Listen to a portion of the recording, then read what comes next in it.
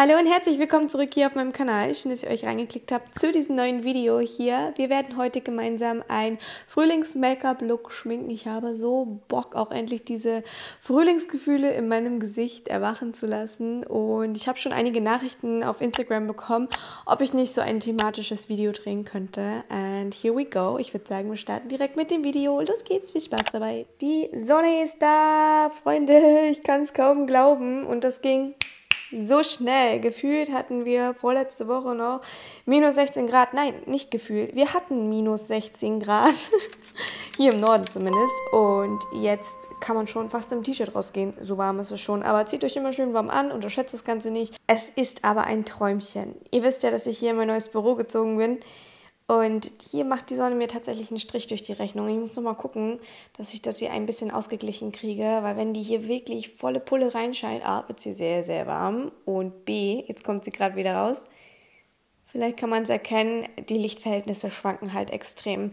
Ich muss mir hier noch mal irgendwie was Kreatives einfallen lassen. Aber geht ja nicht, die Läden haben ja momentan zu. Ich würde so gerne irgendwie gucken, was vielleicht das Beste dafür ist. So Plissés habe ich jetzt online bestellt. War ein Fehlgriff. Aber egal. Darum soll es ja gar nicht gehen. Es äh, geht ja heute um mein schönes Make-up. Ich habe meine Haut richtig schön vorbereitet mit sehr, sehr viel Feuchtigkeit. Ich muss äh, gestehen, ich war vorhin auch schon geschminkt, bin schon wieder einmal abgeschminkt.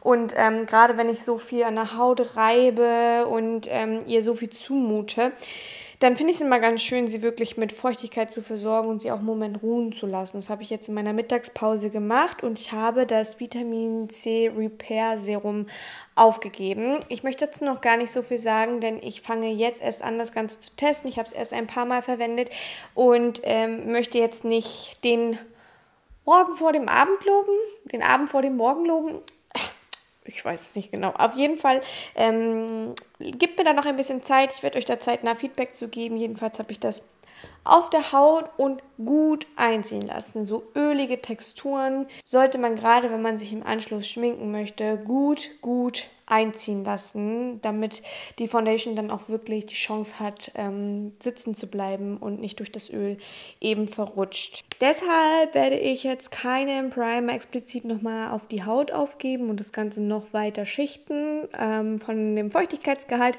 reicht es mir definitiv aus. Ich habe aber Bock auf Glow. Ich möchte so einen richtig schönen, glowy Frühlingslook schminken, weshalb ich jetzt mit einem Illuminating Primer, also dem High Glass Primer hier von NYX nachhelfen werde und das Ganze eben mit der BB Cover Cream von L'Oreal mischen werde. Ich werde halt wirklich nur ein, zwei Drops wirklich in meine Foundation-Portion einbringen, einfach um diesen natürlichen Glow noch so ein bisschen mehr rauszukitzeln. Beide Produkte vermische ich jetzt auf meinem Handrücken mit einem Stippling Brush und auch mit dem gebe ich das Produkt schon mal im Gesicht auf und verteile es dann im Anschluss mit einem Beauty Blender und arbeite alles richtig schön in die Haut ein mit klopfenden Bewegungen, so dass ich wirklich ein schönes und ebenmäßiges Finish erziele. Übrigens hat die BB Cover Cream einen Lichtschutz von 50 und ich kann euch hier auch nur empfehlen, dass ihr da wirklich drauf achtet, auch bei der Frühlingssonne, wenn die Temperaturen noch nicht so warm sind,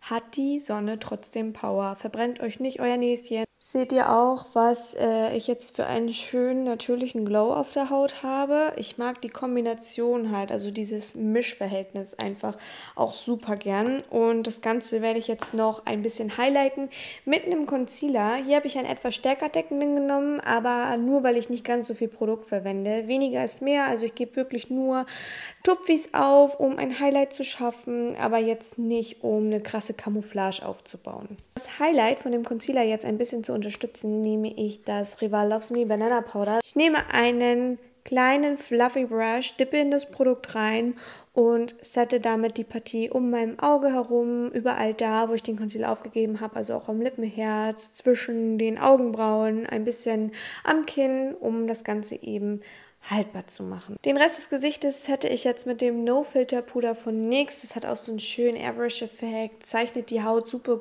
weich. Ich mag das sehr, sehr gern. Ich habe übrigens die Farbe Light Beige. Jetzt werde ich mein Gesicht ganz, ganz leicht konturieren. Dafür nehme ich diesen hellen Ton hier aus dem Contouring Duo von ähm, Essence. Aus dem, ich habe hier die Farbe Lighter Skin und nehme so einen ja, feineren Pinsel und gehe damit wirklich nur in die Kontur, nicht mehr, dippe ein bisschen auf und ähm, zeichne die Schatten in meinem Gesicht ein. Um das Gesicht aufzuwärmen, nehme ich jetzt einen Bronzer und dann nehme ich von Physicians Formula den Butter Bronzer. Ich habe hier, glaube ich, den dunkleren in der Farbe Deep und nehme einen feineren, fluffigen Pinsel und gehe damit über die Kontur, über die Stirn, ein bisschen an der Nase und gebe den auch, wo mich die Sonne jetzt im Frühling als erstes küssen würde, um das Gesicht einfach aufzuwärmen. Zum Thema Augenbrauen gibt es gerade ein ganz aktuelles Video auf meinem Kanal. Ich habe euch wirklich meine Augenbrauenroutine abgefilmt, zeige euch das Step by Step, alles Mögliche. Das Video linke ich euch gerne hier oben ins i rein, da könnt ihr im Anschluss dann einmal vorbeischauen. Ich werde meine Augenbrauen heute mit dem Catrice Slimatic Ultra Precise Brow Pencil nachziehen. Das ist die Farbe 040 Cool Brown, schon relativ dunkel, also den dosiere ich auch wirklich leicht und gehe damit in meine Kontur und zeichne mir feine kleine Härchen ein. Wir starten mit dem Augen-Make-up und das werde ich rosé schminken, so richtig schön frühlingslike, aber auch dezent und für den Alltag super tragbar, auch für diejenigen, die nicht ganz so viel Make-up tragen mögen. Ich werde hier für die Pro Slim Eyeshadow Palette verwenden von Catrice, die Next Gen Nudes Variante und hier starte ich mit dem Ton Noble und gebe das Ganze als Übergangston in die Lidfalte. Der hat eine richtig schöne, warme Rosé-Unternote und diesen Ton intensiviere ich ich jetzt mit der Farbe Beauty, das ist dieser hier oben, auch ein wunder wunderschöner Ton, der sich mega für den Alltag eignet. Einfach nur pur eingeblendet oder auf dem Lid aufgetragen ist das wirklich eine wunderschöne Farbe. Ich nehme jetzt noch ein bisschen Concealer auf und werde mir hier so zwei Tupfis aufs Lid drauf geben und das Ganze mit dem Finger dann verteilen. Jetzt nehme ich diesen Highlighter hier von Revolution. Das ist der Highlighter Reloaded in der Farbe an Impact. Ein so, so schöner Ton, der in zwei Farben changiert. So ein bisschen Gold und Rosé. Ein unglaublich schöner Ton. Den werde ich heute zweckentfremden als Lidschatten. Ich nehme das Ganze mit dem Finger auf und tupfe das Ganze eben auf die eben aufgetragene Concealer Base und schaffe somit nochmal einen kleinen metallischen glowy Effekt in dem Make-up. Diesen metallischen Effekt werde ich jetzt mit der Farbe Love aus der Catrice Palette übereinblenden, die Übergänge ausradieren und das Ganze so ein bisschen ebenmäßiger und einheitlicher aussehen lassen.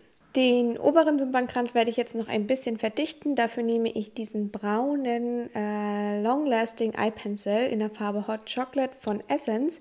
Ich gehe wirklich ganz, ganz nah am Wimpernkranz entlang. Ich möchte keinen Lidstrich ziehen, sondern einfach nur den Wimpernkranz ein bisschen auffüllen und verstärken. Ich nehme jetzt so einen angeschrägten Pinsel, der etwas fester gebunden ist und verblende damit den eben aufgetragenen Kajalstift. Den habe ich ihm auch am unteren Wimpernkranz noch aufgegeben, so ein bisschen auf die Wasserlinie.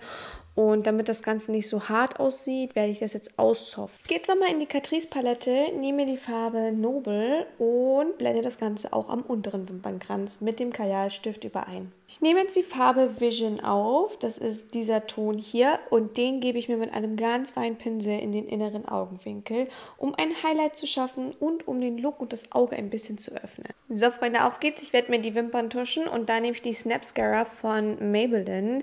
Die hat so ein geschwungenes Bürstchen und die gebe ich in zwei Schichten auf.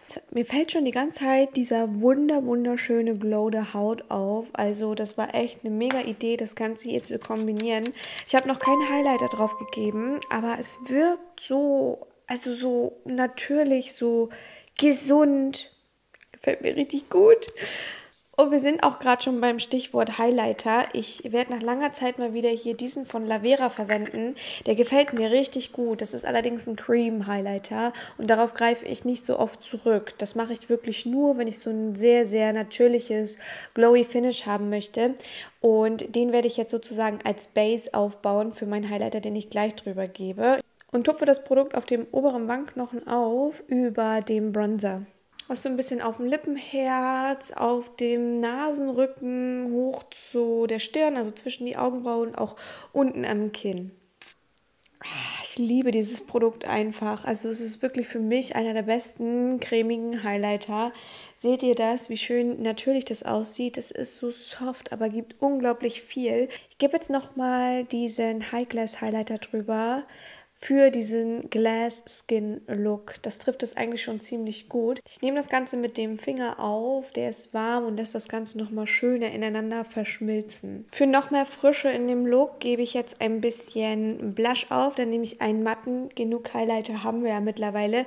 Dann nehme ich den Sweet Cheeks Matte Blush von NYX in der Farbe Summer Breeze. Ich nehme das Ganze mit einem Stippling Brush auf und lasse wirklich nur die Pinselspitze arbeiten und das Produkt für mich verteilen.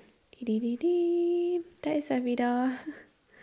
Damit das Ganze auch noch natürlich bleibt. Ne? Und auf den Lippen werde ich jetzt meinen derzeitigen Favoriten tragen, beziehungsweise meine Favoriten-Kombi. Und zwar ist das der Lip Designer von Asam Beauty in der Farbe Almond und damit fülle ich meine komplette Lippe aus und gebe dann im Anschluss den Art Deco Hydra Lip Booster in der Farbe 28 drüber. Also das ist wirklich so eine krass schöne Kombination. Ich werde so häufig darauf angesprochen und ich liebe, liebe, liebe diese Lippenkombination momentan einfach so, so sehr.